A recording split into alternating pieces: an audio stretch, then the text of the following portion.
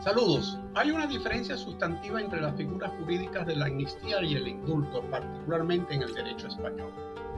Hoy, hay un debate intenso en la sociedad española como consecuencia del proyecto de ley de amnistía presentado por el Partido Socialista Obrero Español de Pedro Sánchez, registrado este mes de noviembre en el Congreso de los Diputados, el cual, de ser puesto en vigencia, traerá consecuencias en la España del siglo XXI como las trajo aquella constitución liberal de 1812.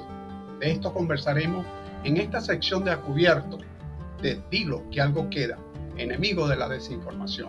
Veamos. Según recoge el diccionario panhispánico español jurídico de la Real Academia, una amnistía es, según el derecho constitucional, una forma de ejercicio del derecho de gracia que corresponde a los poderes públicos.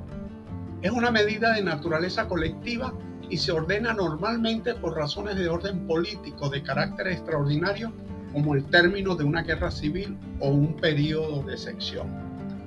Según recoge el propio diccionario, la amnistía se diferencia del indulto por su naturaleza, ya que éste se basa en razones de equidad y se conceden individualmente por el Consejo de Ministros como remisión de todas o algunas de las penas impuestas a un condenado por sentencia judicial firme. Visto lo visto, el indulto supone el perdón de las penas a las que hayan sido condenadas personas declaradas culpables de un delito. Ojo, que mantienen su condición de condenados.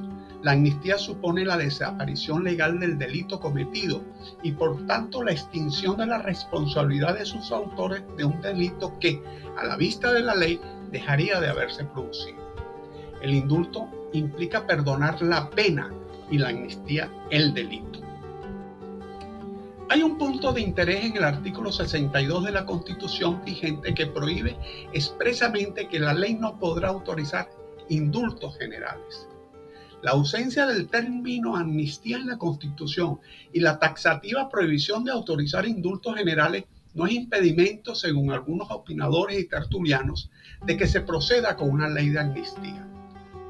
Otro punto para revisar por los juristas es si la amnistía supone la desaparición legal del delito cometido.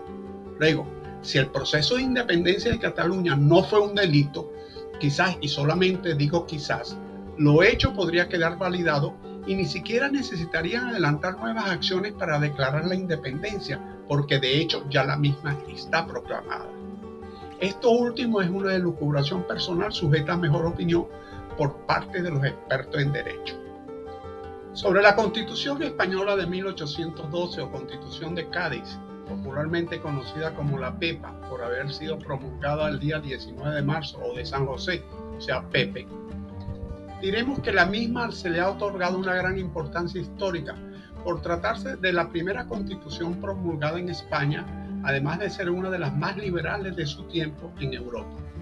Las consecuencias de dicha constitución se han hecho sentir en España desde aquel momento por ser la zapata de pensamiento en las luchas entre los sectores conservadores y liberales de la sociedad española hasta 1978, fecha de la actual Carta Magna.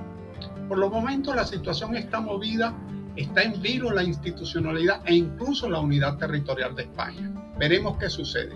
Gracias por su atención. Le invitamos a seguir nuestro canal. Visto lo visto, dilo que algo queda. Hasta el próximo video.